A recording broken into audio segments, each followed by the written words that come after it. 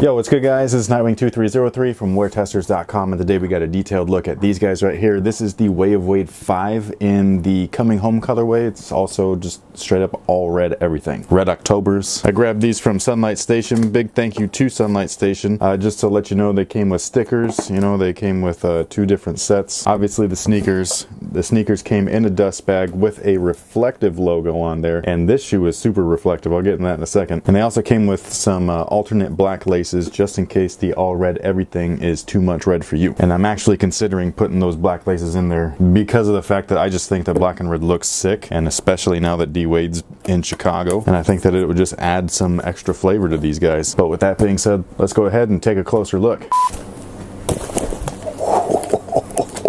I normally do catch shoes on the first try, I'm serious.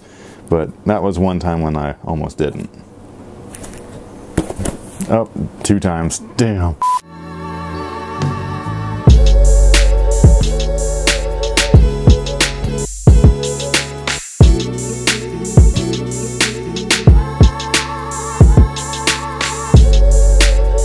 So like I said before, this is the Way of Wade 5 coming home. This is the all red everything colorway and I just think that this is the best looking version of the shoe so far. The two initial launches have both been a Volt base colorway and I mean Volt's cool and everything but I don't like the colorway too much, you know what I mean? Like Volt is a shoe or not a shoe, but a color that is best used in moderation. The very first colorway is like all Volt, and I was like, nah, dude, like those whack.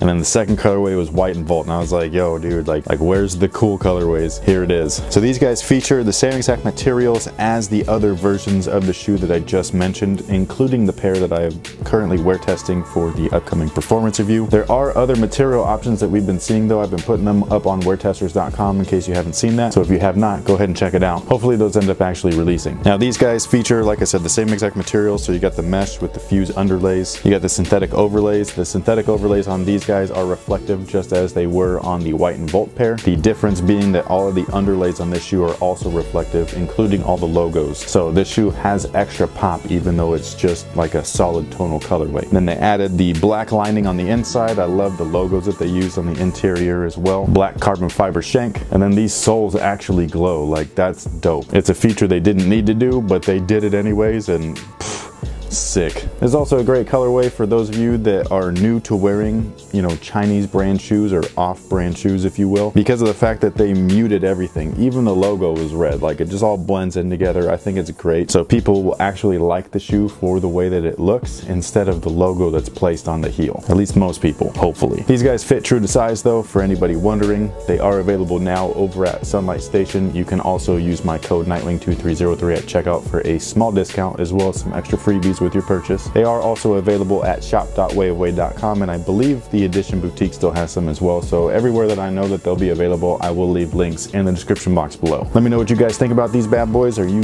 are you grabbing a pair? Are you not? Personally, I think that these are a good off-court shoe. I'm not loving them on court, mainly because of the cushion. Everything else has been fine so far. But that pretty much takes care of it. Let me know what you guys think about these down below in the comment section. Thank you guys for watching, and until next time, guys, have a good one.